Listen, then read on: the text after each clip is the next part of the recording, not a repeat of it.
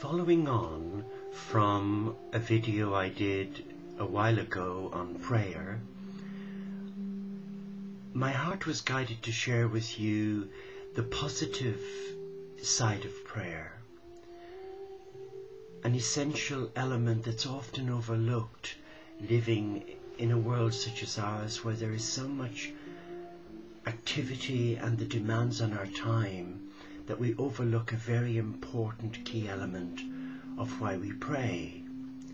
And I believe that prayer has many miracles attached to it because in today's trying times it is easy, isn't it, to become overwhelmed with stress and the problems of life. And during these times, many people call out to God, to Jesus, to Buddha, to Muhammad, even to Moses, and not forgetting the Virgin Mary, Kuan Yin, Magdalena, even the guardian angels are summoned for help. And any force that can connect them with the power of the divine through their prayer will help them. Sometimes we get help. Sometimes we don't. Often we are left wondering if there is any way to make a clearer connection to the Creator. In a time of need, such as now, when our world is being bombarded by so much negativism, the recession, which has gripped many people's hearts, we know that we have to come back into our heart and use the gift of prayer. And I believe that when we combine two of our most powerful prayers into one package, something really happens. The miracle and the prayer are one. And one such prayer that many of us are familiar with is the Lord's Prayer, a prayer that's thousands of years old. And it's a beautiful prayer. And this prayer is a direct conversation of the heart with God. Prayer, I believe, may be used to protect the user and his or her loved ones from evil, to sustain them in times of need, maybe to heal them in times of illness, or to comfort them in grief. By the combined power of faith, a belief in the unknown, and applied concentration, the lay monastics of our community, the Teo community of Interfaith Franciscans, we have given our lives to God as a kernel of hope for the interfaith movement, for all beliefs to come together as one. That's our ministry. That's what Francis asked us to do. And many of us have surrendered our heart, walking in faith, no guarantee, but we walk in faith from our monastery without walls. And we trust, we trust in a God of love. And this God of love hears every prayer. And though we may never see an answer to our prayer, by nature of the life we live in our own contemplative life, we know that whatever we ask of God from a heart of love, that request is heard.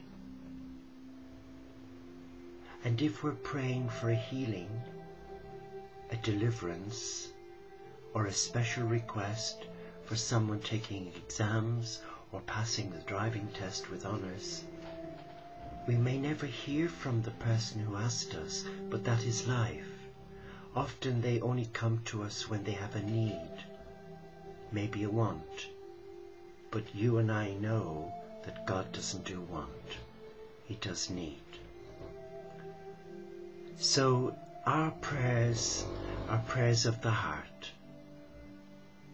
Because as monastics, lay monastics live in the modern, in the modern world, we give God our availability and our vulnerability as a prayer.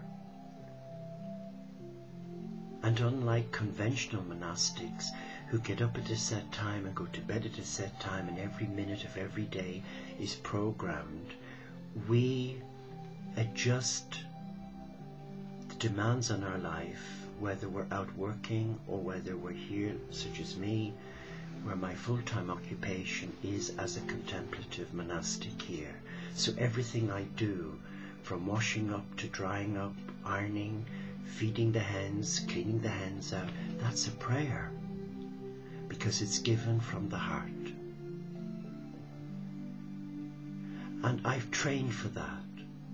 I've trained just like a nurse or a doctor who goes through years of study, of self-discipline, and trying to understand the mindset of God by emptying my mind and my life of any distractions so that I can come to God as a pure vessel, aware of my humanity.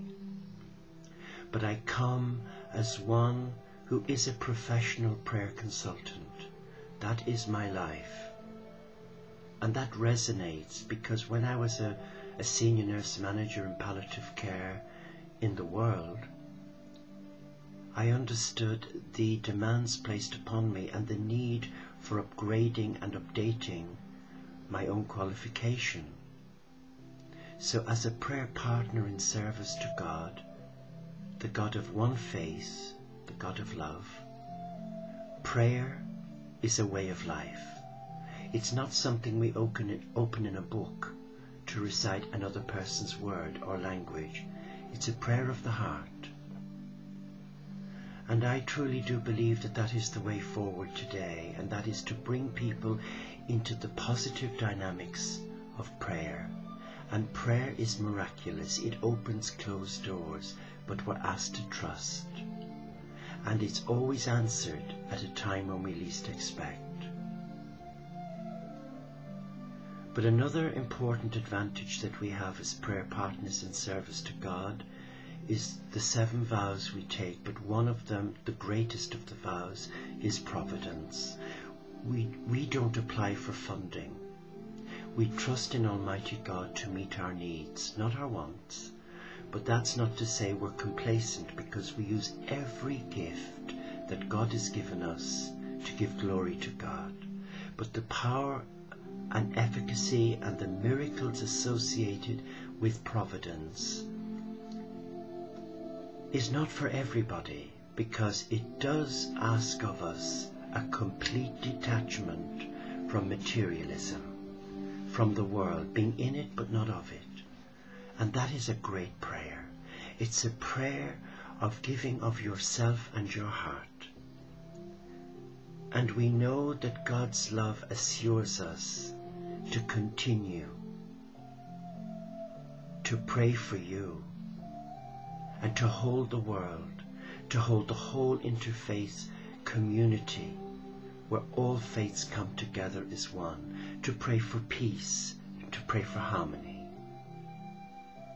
And to activate this power of prayer in order to help you, all you have to do is to go into your space and trust.